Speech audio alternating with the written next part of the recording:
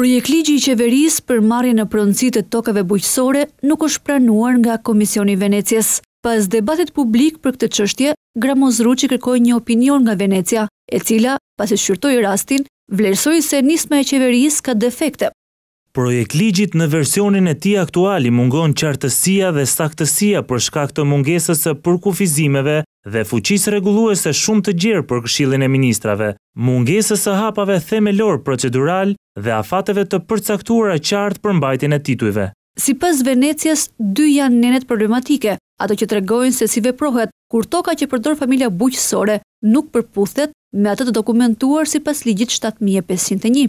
Ekziston një rrezik i lartë që projektligji të mund të krijojë probleme pajtueshmërie me nenin një të Protokollit të Parë të Konventës Europiane për të Drejtat e Njeriut dhe dispozita të tjera, si dhe me Kushtetutën shqiptare. Në veçanti, nenet shtatë dhe nëntë të projektligjit janë në thelb të paqarta dhe të pasakta, prandaj mbajnë një rrezik të lartë që zbatimi i tyre do të çojë në shkelje të Konventës Europiane për të Drejtat e Njeriut. Në opinionin e Venecias, pasqyrohet dhe një shqetësim i opozitës për zbatimin e ligjit për kthimin dhe kompensimin e pronave.